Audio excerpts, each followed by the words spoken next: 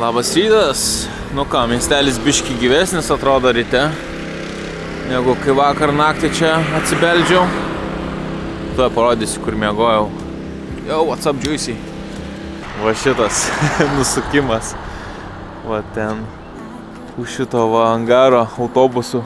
Visai nieko vietelė.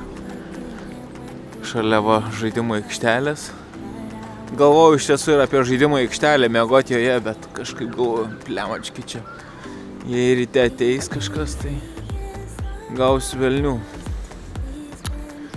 Foursquare'as. Maisto darbiškį turiu, plus dar šiandien kaip ir planas kelis miestelius pravažiuoti. Kaip ir gerai. Vėl giedra diena. Kuo jau iš tiesų ne, nenoriu prisišnekėti, bet neatsimenu, kada lyjo. Jau senokai. Pasidėjau kavinį susimatuot vlogą. Dabar dar biški lauks kalniuko, paskui bus visiškai lygus kelias, tai savo ramiai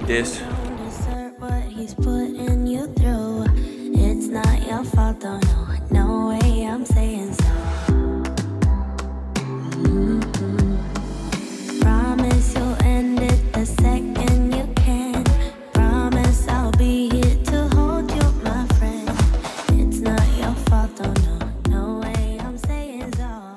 Suvalkijos lygumos, bičiuliai.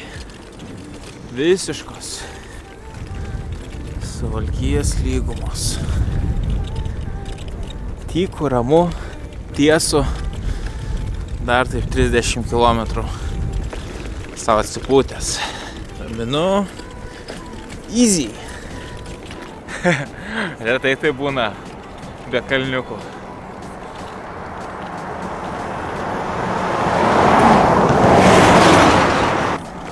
Retai tai būna. O suvalkyju ir jukos pradeda aukti. Biški keičias kraštovaizdis.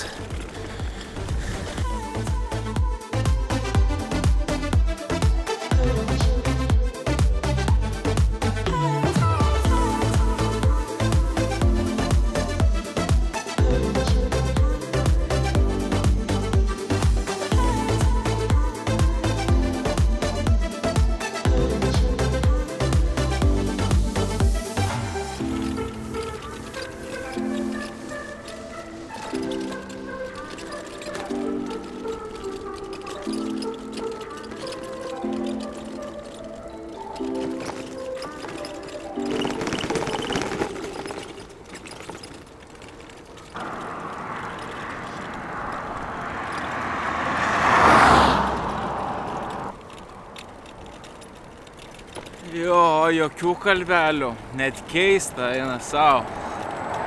Lyg būtų kokia Olandija ar dar kažkas. O, girdit, kaip šauda. Lauk. Čia ant vidurinės žvaigždės. Tai negaliu labai daug ją spaust. Bet kadangi šiandien lygus keliukas, tai kaip ir baika. Jo, šiaip dėl to iš tiesų ir rekomenduoju žmonėms, va, kurie nori save išbandyti užsienyje. Ir kad, nu, nepersiplėšti ir patirti tą kaifą pačią keliavimo dviračių ir išbandymo savęs, tai visą laiką sakau, Olandija, Danija, Šiaurės Belgija, nes automobilių kultūra gera, prioritetas dviratininkam, dviračių infrastruktūra irgi labai gera, kalnų nėra, tai savo gali tiesiai ramiai važiuoti ir, ir grožėtis ir parkais, ir miestais, ir gamta. Ir a, ne tai, kad prakaituoti tą kalną ir galvoti, kad jau viskas, tai mano paskutinė kelionė ir daugiau niekad gyvenime. Tai kad va tokių minčių nebūtų, tai manau geriau pradžių pasirinktas tokias va lygesnės šalis, o paskui jeigu viskas gerai, pats keliavimo tipas tinka, stovyklavimas tinka ir patinka, tada jau galima ir, ir labiau į kalnus lysti. Bet va tokių, sakykime, 30-40 km patiesumai Zelandijoje dar nelabai buvo. Tell you you're fine. I could be lying the rest of the night,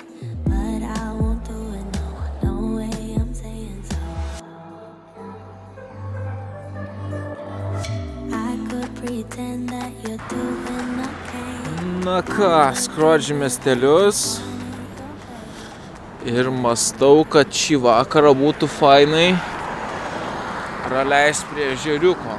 Čia dabar greit užkandau. Ežerai už 30 km, tai manau taip su vakaru ir atvažiuočiau iki ten, tai manau tą ir darau.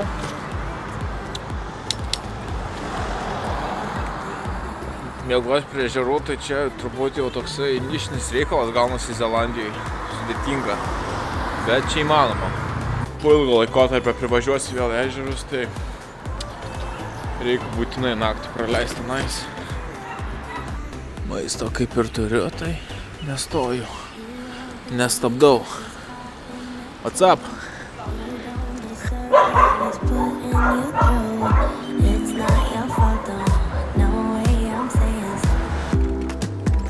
the second you can. Tracokėlis.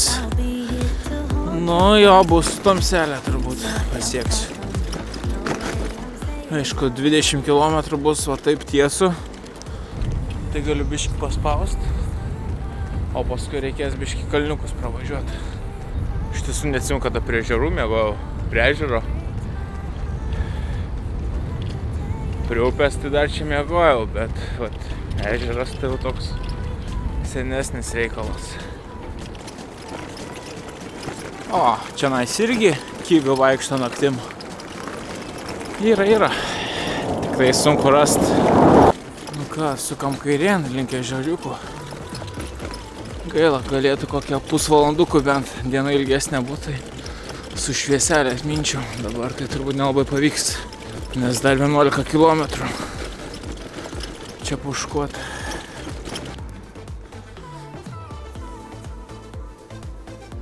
Na štai, atvykau. Iki ežeriukų po 6.5 dabar yra. To privažiuosiu paplūdimi.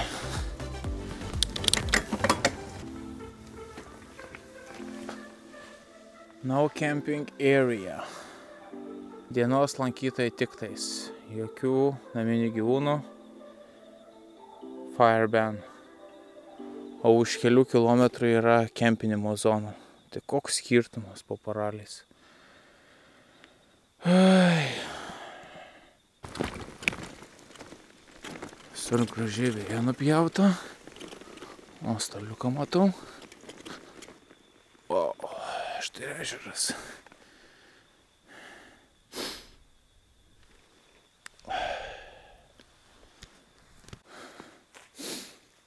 Rašo, šis ežeras atrodo ramus, bet vis tiek reikia labai priežiūros. Tamsios vietos iki 30 metrų gylio. Ir, ir jo. Rytoj gal. Biškiai apsiprausiu. Dabar čia tamsoj. Nežinia kur brist. Bet ką aš žinau.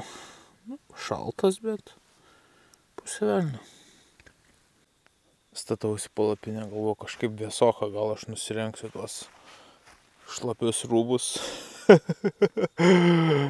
jo.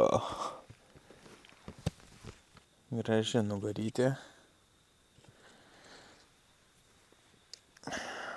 Taip ir bėga prakaitas. Treningiukas irgi. Marga.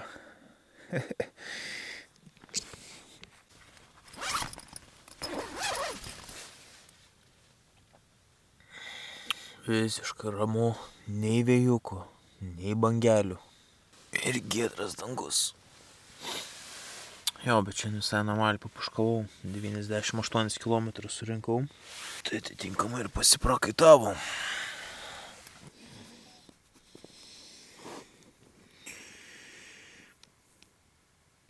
Skaičiavau grubiai, kiek, kiek yra atstumo iki šiauriausio taško, tai dar grubiai kokios penkios dienos. Kažkas tokio. Penkios, nu maksimaliai šešios dienos. Nu, jeigu imsiu laisvadienį, tai jo, gal ir šešios dienos. Tai jau arti eina savo. Kaip greitai. Žiauru. Na, jau paskui pasiekė šiauriausią tašką, jo, po truputį judėsiu rytų pakrantę link, link namų. Kas irgi turbūt bus panašiai tiek pat laiko. Bet nors ir atrodo šiaurė, čia nais tokios kaip ir pakankamai lygios kalvelės, bet šiaip nemažai čia pravažiuosiu tokių miškelių, tai kalniukų bus, sukilimų bus, neišvengsiu. Daugiau negu iš tiesų, negu pietų saloj, kur ten rimti kalnai. Tai dar pap, papluškėt, papleškėt reikės, paliet prakaito. Nu ir tada galėsim stot ant svarstyklių, pažiūrėti, ką čia per kelionę padeginau. Na bet šitoj kelionė aš tikrai uh, stengdavau surinktų kalorijų, pavalgyti, kiek yra progų, tai nebūsiu ten 10 kg numetęs, aš galvoju, bet kokie 5 tai bus. Pakūdau, bet, nu, ne taip maksimaliai, kaip kokiam Atlantė, kur ten gal 7 kg ir 8 nukrito. Čia, čia bus mažiau. Tai va, tiek, tiek žinių. Eisim rytoj apžiūrėti ežerą, kaip čia kas atrodo gal biški apsiprausti. Būtų visai gerai jau, kiek 6-7 dienos nesimaudžiau. Būtų visai gerai apsipraus, bet žiūrėsim, kaip dar tas ežero šaltumas. Čia dabar, kai tikrinau, tai aš šiltas buvau iššilęs po dienos, bet kai ryte reikės tenais lysti jį, tai klaustukas. Na žodžiu, matysim. Tai ačiū, kad buvot, stiksime rytoj. Iki.